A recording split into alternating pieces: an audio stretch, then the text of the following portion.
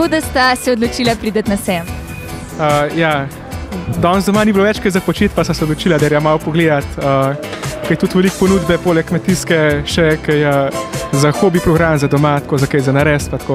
je kaj od eh, stvari, ki so na razstavi aktualno za vaju, ki kupujete?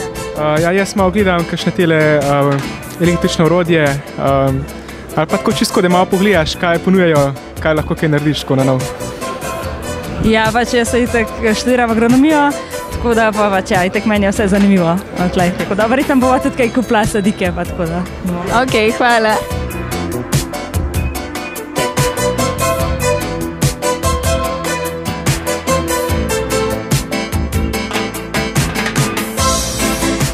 Jaz sem Simon Mesec iz podjetja Mibor.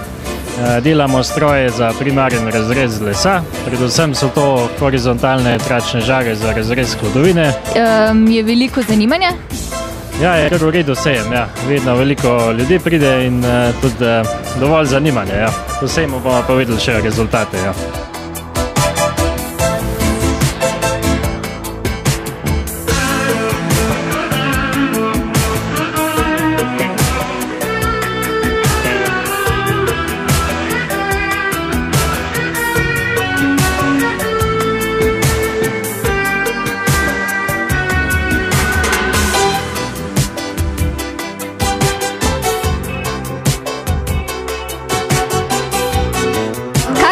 Imate tle? Uh, kruh iz krušne peči imamo, Domač? mač kruh iz krušne peči. Če reste po vrst, recimo polnozrnat kruh semeni, ržen, uh, bel, polbel, pa čebulni. Zraven pa še malo mesnin. In Kjer ga imajo obiskovalci sejma najrajši? Najrajši imajo polnozrnatega. Društvo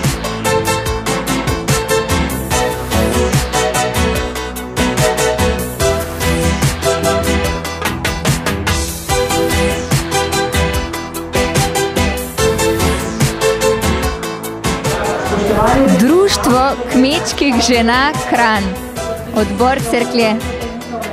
Bi lahko kaj povedali? Društvo kmečkih žena, a torej samo za žene. Žene, dekleta, vse, ki so pripravljene z nami biti, res ženskega spola. Ja. In kaj se v društvu dogaja?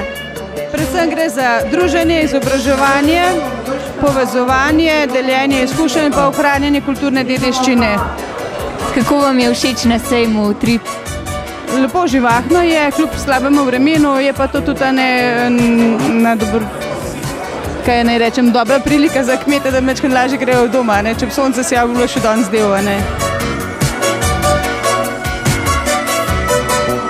Vi prodajate harmonike, je res? Ne, jaz jih pa kupujem. To je prodaja. Ja, ja. no, vse to me še bolj zanima. Mm, A se odločate za nakup poličar harmonik?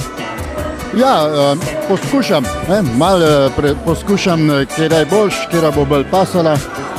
I- Sami ste harmonikaš? Ja, zdaj sem jim v Rutarjevo, nažalost, so jo mi pred dobrim mesecem ukradli. Na sejem pridete vsako leto.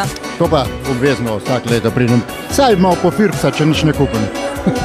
Vam je všeč vzdušje, prijatelji? Ja, je, zelo. Zelo lepo imajo urejen, preskrbljen za parkirplac. Na splošno, za jedačo, za pijačo, za vesele, vse.